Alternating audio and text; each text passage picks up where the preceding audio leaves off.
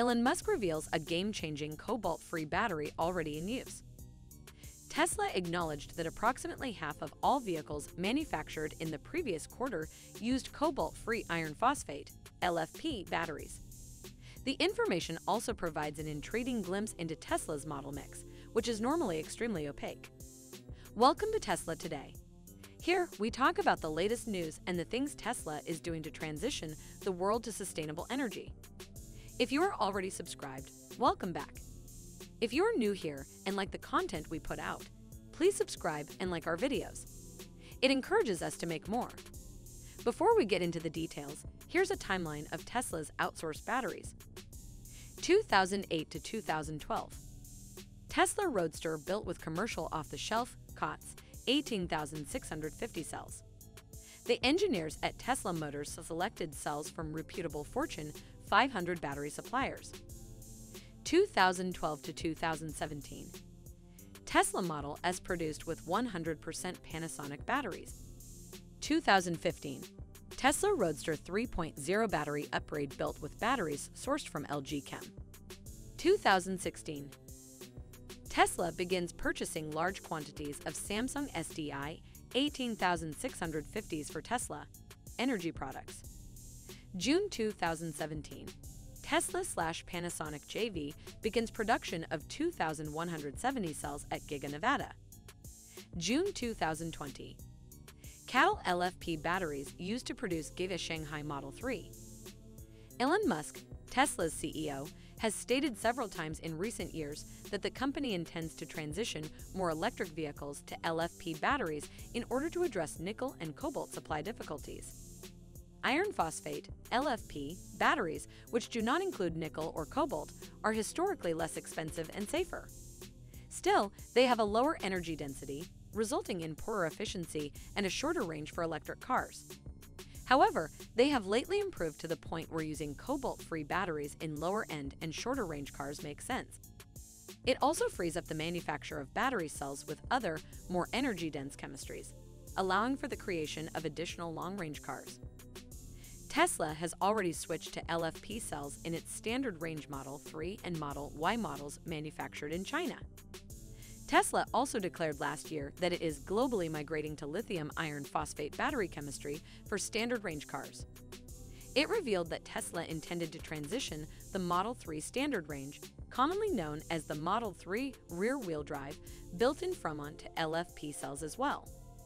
With the publication of Tesla's Q1 2022 financial results, the company stated that approximately half of all vehicles manufactured currently use LFP batteries.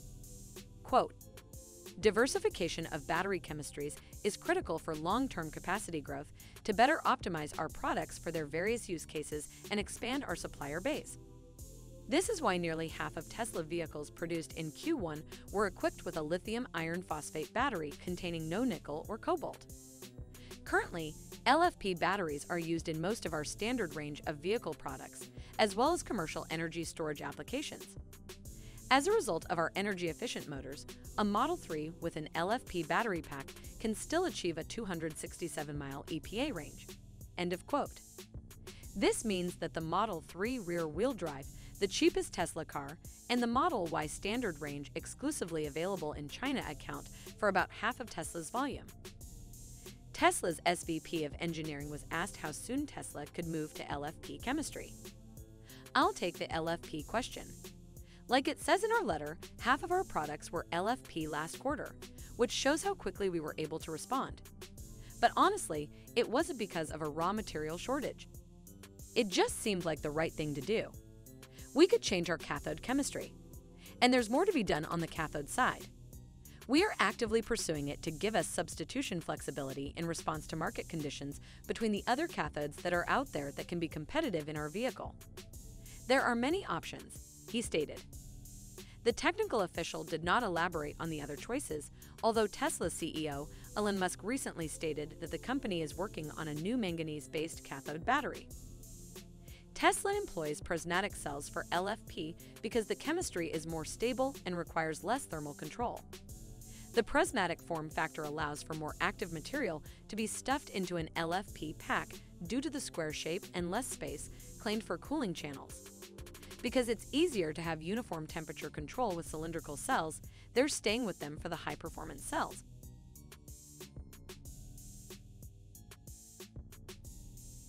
Cobalt is being phased out in batteries by battery manufacturers such as Samsung and Panasonic, automobile manufacturers such as Tesla and Volkswagen, and several startups. Cobalt is one of the most costly elements used in lithium ion batteries, which power everything from laptops to cell phones to electric vehicles. Cobalt has been a popular battery metal because it boosts battery life and energy density, which in the case of EV implies range, by keeping the battery structure stable as the battery is continually charged and drained. However, cobalt, which is typically extracted as a byproduct of nickel and copper mining, is one of the most costly components in a battery. While battery prices fell 89% between 2010 and 2020, they still account for around 30% of the entire cost of an electric car, according to Bloomberg NEF. Cobalt extraction is also heavily concentrated in the Democratic Republic of the Congo, where it's been linked to human rights abuse and child labor. Furthermore, with global EV sales set to surge, demand for basic battery elements, such as cobalt, is likely to surpass supply. When comparing demand and availability for cobalt, there is an adequate raw material in the Earth's crust, geologically speaking. It's the same with lithium, nickel, and manganese, says Sam Adham, a senior powertrain research analyst at LMC Automotive. It's just that, like all other materials, the manufacturing and processing of that material are nowhere near the level that it has to be to satisfy the level of demand. These are some of the reasons why battery manufacturers, such as Samsung and Panasonic, and automobile manufacturers like VW and several startups aim to eliminate the need for cobalt entirely, which Tesla has already taken the step. We expect EV pricing to reduce by as much as 50% once other automotive manufacturers catch on to this. Do you believe this will reduce the cost of electric vehicles? Let us know what you think in the comments section below. If you liked this video, hit the like button and send us your thoughts and comments in the comment section below. Be sure to subscribe for more. Thanks for watching.